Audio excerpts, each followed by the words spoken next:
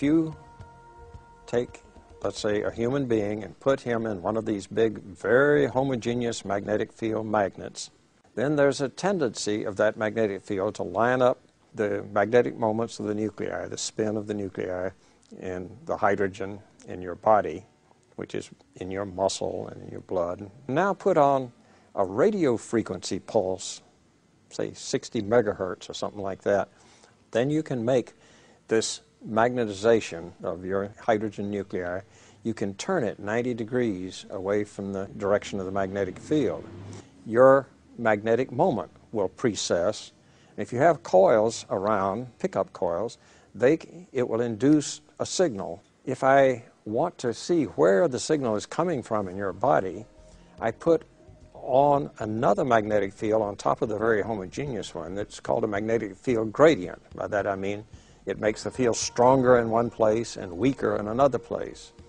What you do in order to actually get the image that you want, uh, the fine resolution that you need, is you put on magnetic field gradients of different strengths, a series of pulses. That's why if you get an MRI machine, you hear boom, boom, boom. It's all these pulses that we're putting on with different strengths of magnetic field, perhaps even different directions, because we want to get a three-dimensional picture of you. You record all of these data, and when you finish, you can now use what's called Fourier transform. It's a mathematical technique. You can work back to how strong the signal was in each of these uh, voxels. And so this is how the image is developed. What's up, you two? It's MR2. Now, here we go as of May 22nd, they've uh, finally announced the validation of the hydrogen energy and to be able to extract electricity directly from water vapor. And we knew this was going to come out sooner or later. Actually, this has been out since 2008. The um, Wall Street Journal finally published what uh, the universities have acknowledged. And uh, well, it starts here. Leading academics and industry experts have validated BlackLight's new process that directly produces electric energy from the conversion of water vapor to a new form of stable form of hydrogen. Experts agree that BlackLight's hydrino theory represents a fundamental breakthrough in clean energy technology. BlackLight Incorporated, or BLP, today announced a major breakthrough in clean energy technology, which experts agree hold tremendous promise for a wide range of commercial applications.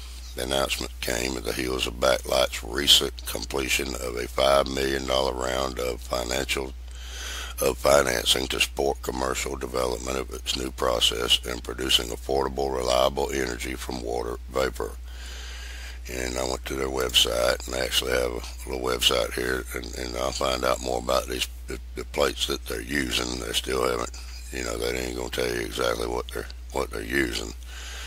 But at any rate, the uh, end result is is, is, is, is you know the splitting of water, create creating energy, creating electricity.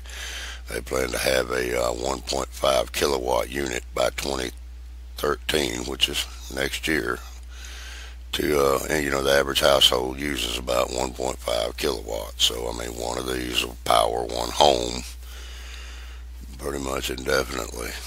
And I mean it's just it's an age old trick. They, they've actually been using water for energy source for for eons. The V2 rocket which the Germans and Wernher von Braun invented back back in the 40s somewhere in there actually used uh, hydrogen peroxide, liquid oxygen, and and they had to use alcohol as a uh, as a coolant fuel to keep the nozzle from melting down.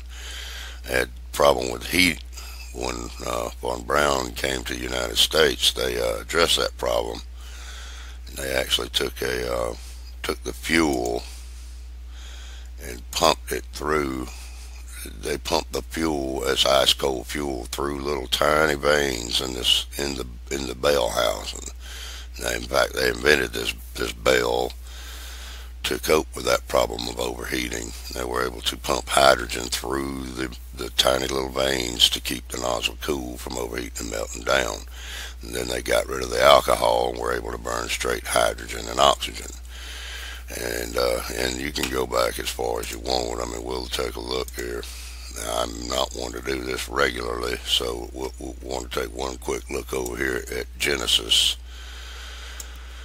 25, and it says here that, well, we'll go ahead and clear this up right quick. God made the beast of earth after his kind, and the cattle after their kind. And we'll skip on down to 26, and God said, Let us make man in our image, after our likeness. Now that, that's that's that's that's three times in one sentence. So therefore, there is no more need of going and saying he or, or him or, or it, it is us, it is ours, it is them, they. You want to call it what you want to call it. It's wrote right there. And, and, and, and of course, if you know you want to look at it literally, you know, uh, we can all say what we want to say, but here on the second day, well, first day credit, light and dark second day, let there be a firmament in the midst of the waters, and let it divide the water from the water. And they made the firmament and divided the water which was under the firmament from the water which was above it. And uh, they called the firmament heaven. By nowhere in this book does it say anything about they created water the very beginning, they simply divided it. And then when they created the sea, they gathered it. Where in here does it say they created water? They divided water. And that's the way the energy is being, and that's the way it's always going to be.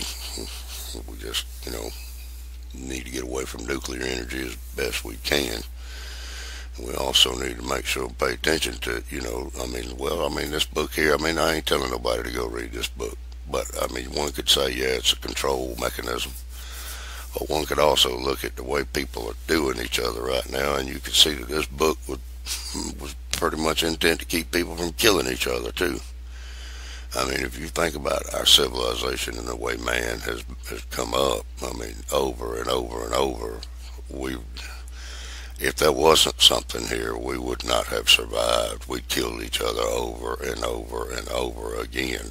Always something always intervenes. And, and to think any of us can do it alone is ludicrous. I mean, we, you know, each one of us was born into the arms of another person, and, and without that other person, none of us make it. You know, we always we always ignore the fundamentals of everything and, and, I mean, it's right at the beginning of life. You're here for, for each other. It's right in the beginning of this book.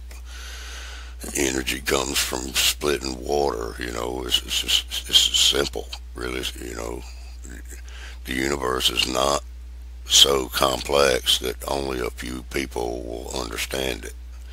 I mean, if you look at nature and birds and fish and everything else, the universe is pretty much simple enough that everybody can understand it.